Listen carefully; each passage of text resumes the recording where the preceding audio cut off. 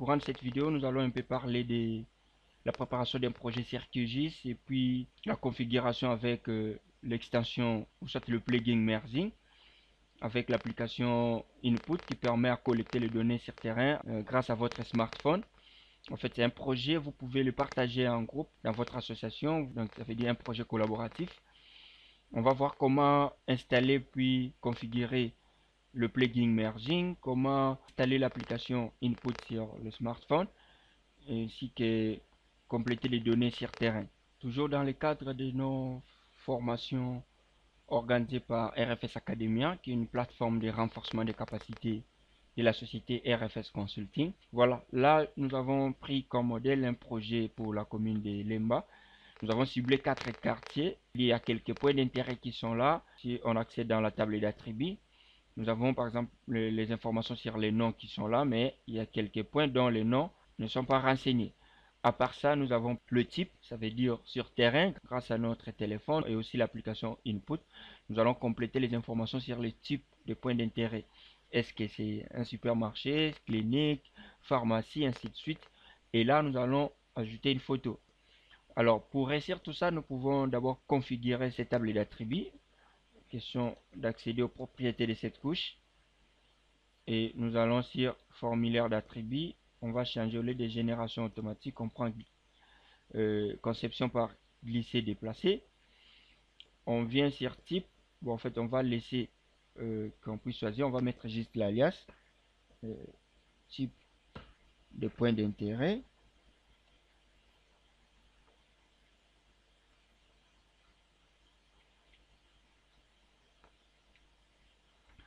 Voilà. Ça on va éditer, ça sera les textes. Si on souhaite aussi, on peut proposer déjà plusieurs types qu'on va juste choisir, mais nous on laisse comme ça. Photo, euh, pour photo, je dire, on va mettre l'alias photo de point d'intérêt. Donc, à partir d'ici, avec alias, vous pouvez écrire le, le long texte, ça ne pose pas de problème et on pourra aussi retrouver tous ces et alias là sur le formulaire lors de collecte de données sur terrain. Vu que ça sera photo, on va aller enlever édition texte et on va prendre euh, pièce jointe. Ça veut dire là, ce qui nous permettra d'ajouter une photo. On peut soit prendre une photo qui est dans la galerie, soit encore capturer directement sur terrain.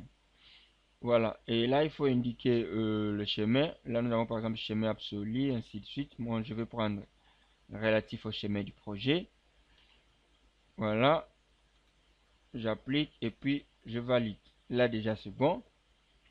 Une fois fini, à part ça, nous avons les routes qui sont là. Nous avons, nous avons ici route principale, secondaire, ainsi de suite. Et nous avons limite des quartiers. Nous avons ici utilisé des fonds de, cartes. On va enregistrer des thèmes. Euh, un thème qui nous permettra d'afficher cette carte avec les fonds euh, la carte de fonds qui est Google Satellite. Et l'autre thème, on aura ces projets avec la, euh, le fond de OpenStreetMap. On commence avec OpenStreetMap. Pour enregistrer un thème, on vient sur Lay qui est là. Je fais clic, je vais sur Ajouter un thème.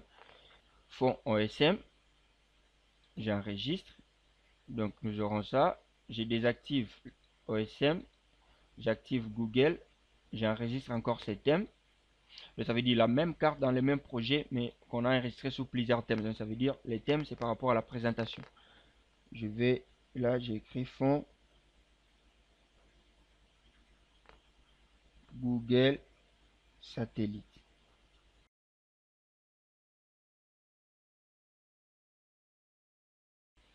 Par exemple, ici, je vais afficher le thème de Google, de Google, de, par exemple de OpenStreetMap, je vais aller sur Lay et je viens cliquer sur fond OSM. Dès que je clique là, vous voyez que le thème change de façon automatique. Je vais faire de même. Je vais là, je vais sur fond Google. Et là aussi, le thème change de façon automatique. C'est de la même façon aussi que ça se passera sur les téléphones avec l'application Input. Nous allons afficher le nom de route, propriété, texte. Voilà, on va réduire à 5 V. Je crois que c'est bon. Valide. On peut même le mettre en gras. Bon.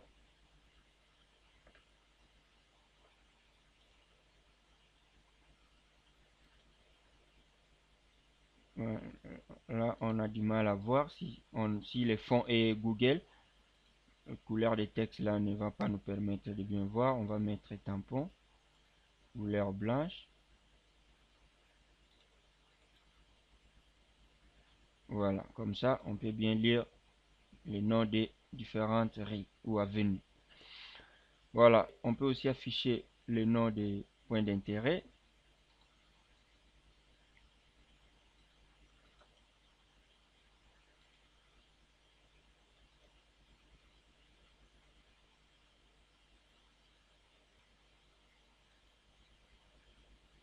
C'est bon.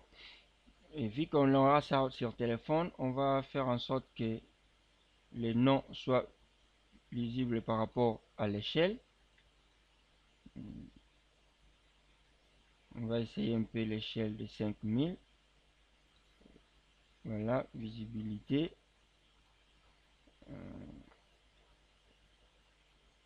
de 5000, on prend 1 divisé par 5000. On va essayer ça.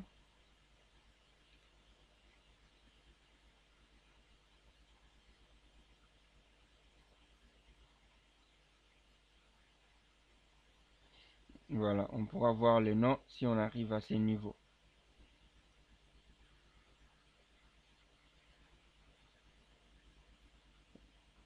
Une fois tout est prêt avec le projet, on va enregistrer ce projet. Euh, place au bureau, le CR06, euh, Geodata, projet Lemba 1, pour le format soit fichier QGZ, soit QGIS, on enregistre.